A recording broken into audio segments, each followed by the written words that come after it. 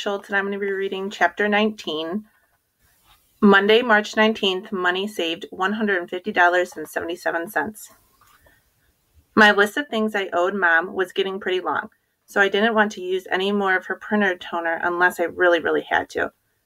Luckily, students can use the color printer in the main office at school for free. You're only supposed to print a single copy of something, but no one watches you. About a month ago, I made 100 copies of a picture instead of one copy just by accidentally pressing a couple of zeros.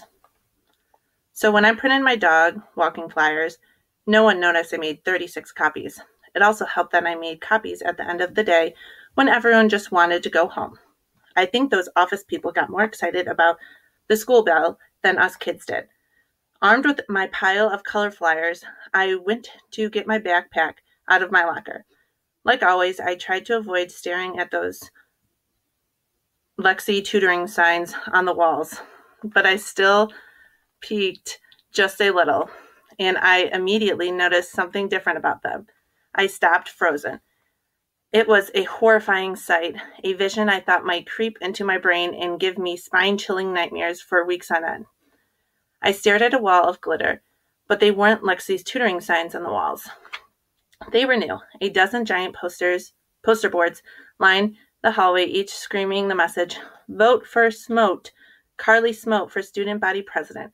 I didn't have anything against Carly. I knew who she was, sort of, but I stared at the cake on glitter, the fancy lettering, the immaculately detailed picture of a goat. Don't be a goat, vote for Smote. That didn't make a whole lot of sense, but a goat picture was pretty impressive. There was only one person who could have made these posters Lexi. As I plodded down the hall, gasping, gaping at every sign, I heard voices from around the corner. I recognized the evil voice of Lexi. I stopped listening. I wasn't eavesdropping, though. It's never okay to eavesdrop. I was spying. There is a big difference. The signs are really good, said a boy's voice. Thanks, answered Lexi. They were a lot of work. How much is she paying you? I shouldn't say. I'll double it. I need signs like those. I don't know. I promised Carly I'd help her out, said Lexi. I'll triple the price. You'll have yourself a deal. As the sound of their footsteps faded away, I stood in my spot, fuming, sign making. That must have been the new money making idea Lexi mentioned at dinner. I looked down at my 36 pathetic copy paper sized flyers. I had a little time before my dog walking appointment, I hurried back to the office to make more copies. Malcolm stopped over at my house in between the dog walking jobs. He bragged at lunch about his soccer juggling, and I bet him $10 I could beat him blindfolded. I was the soccer star, not him, and I could use all the extra cash I could get. I was in a good mood despite the dog party debacle because we got our Civil War test back and I got a D, which means I didn't flunk. But after Mrs. Swift's Swift asked me if anything was wrong and said I needed to bring my grades up or she would call my mother. Calling mom would not be good. I assured my teacher everything was perfect and I'd do better next time. And was she absolutely, unquestionably sure Abraham Lincoln didn't live at the at Gettysburg Address? She said she was absolutely sure. Watch this fancy dribbling. I boomed to Malcolm in my backyard. I bounced the ball on my left knee, my right knee, and then hit my chin and bounced away. Impressive, jeered Malcolm. He then kneed the ball back and forth and from one foot to the other. He juggled and juggled and juggled, up and down and over and back. You owe me ten dollars. I shook my head. I said I could beat you blindfolded, but we don't have a blindfold, so I guess we'll never know. Saved by a technicality. You could close your eyes. Not the same thing at all. Malcolm still juggled. He kicked off his foot and then back to his knee, and then performed a nice fake wave with one foot before spinning it up with the other. I never should have taught him that move. Show off, I spat. I can beat you with two legs tied behind my back, you know? I crowed, trying to act confident, but I didn't feel confident at all. How is that even possible? He asked. Really? Both your legs tied behind you? What would you kick with? Okay, well, maybe not both legs then, I admitted. One leg. Both legs, then, I admitted. One leg. I can be with one leg tied behind my back. Still impossible? What are you going to stand on when you kick? Well, I can still beat you with nothing tied. I think your brain is tied, laughed Malcolm. This entire time, he still juggled. The ball never hit the ground, and it was really annoying. I knew it wasn't his fault. He was better than me at everything these days. Well, maybe it was his fault. He could miss a few soccer kicks at practice to make me feel better, or at least one. He didn't have to be such a show off, and maybe if he helped me more, I'd have more money and I wouldn't be almost flunking classes. I walked over and shoved him. The ball bounced away. What did you do that for? I shrugged. I have to go inside and get ready for my next appointment. Malcolm checked his watch. We have a minute. I'm in charge, and I say we don't. You're in charge of time? asked Malcolm. Like father time? Exactly, I grunted. I am Lord and the master of all that is time related, and all things dog walking related too. Don't forget that. My business, you just work for me. Malcolm picked up the ball. You're getting a little bossy, he huffed as he followed me inside my house. I'm the boss, I snapped. So, what else would I be? I don't know. Nice. Bosses aren't nice. I retorted. Don't you watch TV? Bakery bosses, dance bosses, restaurant bosses all meet. That's the way things get done. I stomped upstairs to my room and Malcolm followed. I grabbed the stack of flyers from school and shoved them at him. Now I need you to go around town and post these signs up. After the dog party debacle, I needed more customers. I spoke in my best boss voice and get a move on it. I'm the organizer and the money guy, not the sign taper. Malcolm folded his arms and didn't reach for my flyers. You're what I say you are. I'm in I'm in charge, remember? I thrust the stack at him again, but he didn't grab it. You could at least say please. Bosses never say please or thank you. They just say, do this and you're fired. I thought Malcolm knew a lot about economics, but apparently he didn't know how business worked at all. Or do you want to just go around showing off your soccer moves instead? I barked. What does that mean? You know, I hissed. Well, I'm not putting up your signs. What does this say? I demanded. I jabbed the paper with my finger. Malcolm squinted and read, I'll walk your dog and clean up too, even if he goes number two. Pretty good, huh? But that's not what I was pointing to. No, below it, I snarled. Malcolm looked more closely at my flyer. You oughta call Otto's dog walking surface. Exactly. Otto, me. Your name is not here. I jabbed the page harder. We talked about this. This is my business. What I say goes. Does it? You oughta call Otto and his lame assistant Malcolm dog walking service. No, it doesn't. I don't care, and I'm still not putting up signs. He crossed his arms. And you're lame. You're a mold faced brain drain, I replied, crossing my arms too. Only I crossed mine a little higher. You're an IQ challenge wombat, and you're an empty headed vacuum head, and you're a mulch breeding, hamster eating, vomit brain swimming in stink. You know, the worst part of the insult? He didn't even smile when he said it. Well, so are you, I sputtered. And you know what? I don't need your 20%. Just forget it. I quit. Malcolm wheeled around and headed towards the door. You can't quit. You're fired, I yelled back. I'd rather keep half of your money, anyways. 20% is not half, hollered Malcolm as he reached the front door.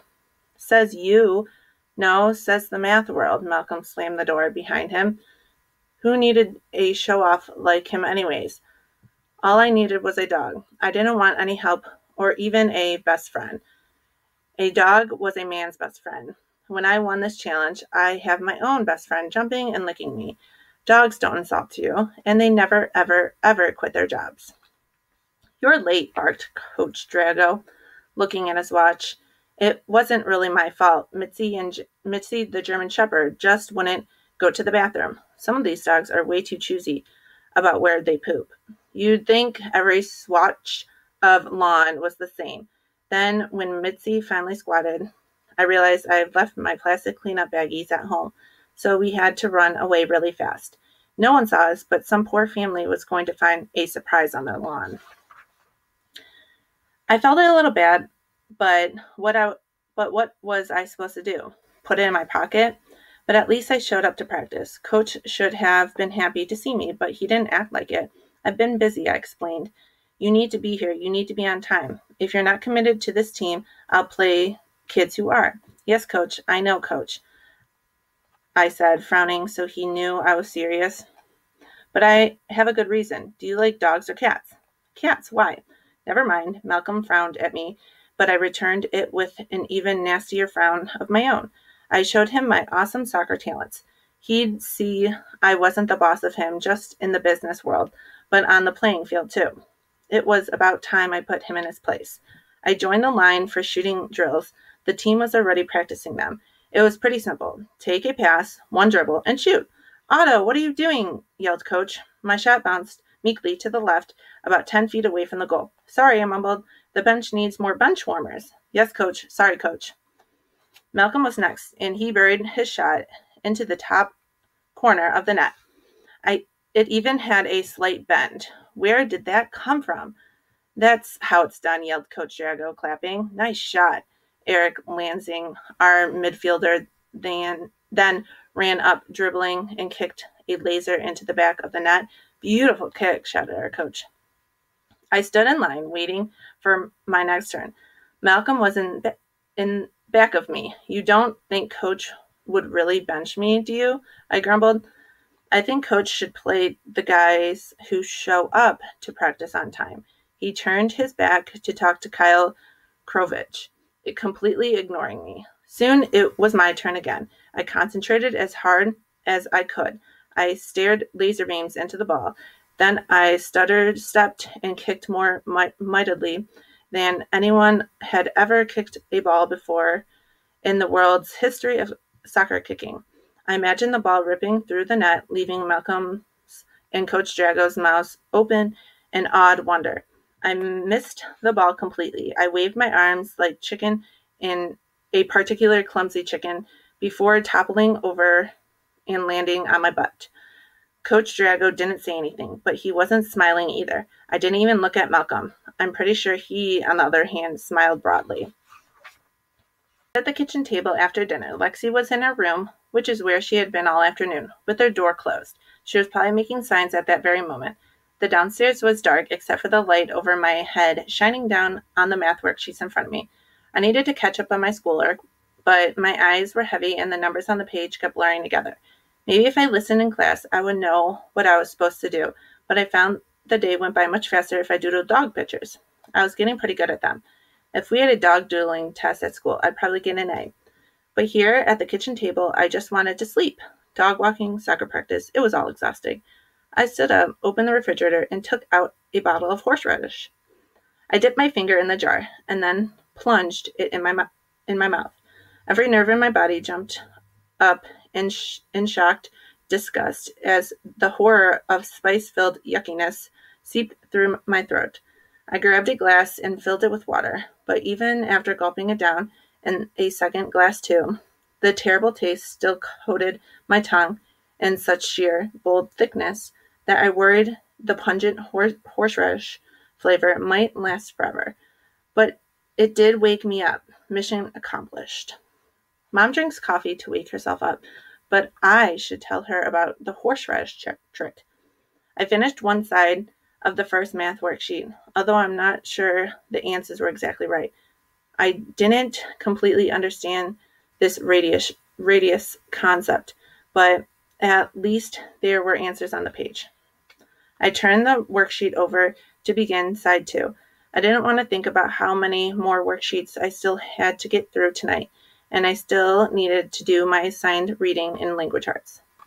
The horseradish taste faded away after minutes, and so did my wakefulness. I don't remember my dream exactly, but I do remember a cat yelling at me about being late, and Coach Drago purring on my lap. Lexi was laughing, and Malcolm was juggling jars of horseradish with his feet. I'm unsure how long I slept, but when I woke, when I woke, I found my head lying on the worksheet and the rest of the house fast asleep. I sighed and took a complete stab in the dark as to the area of a circle. Lexi didn't have to worry about her grades, That always came easy for her. She didn't face the problems I did. She was good at everything. It wasn't fair. I blamed dad and mom, but that was just another reason why it was crucial that I won this war. I needed to show her and mom and I, guess even myself, that I was better than Lexi at something important.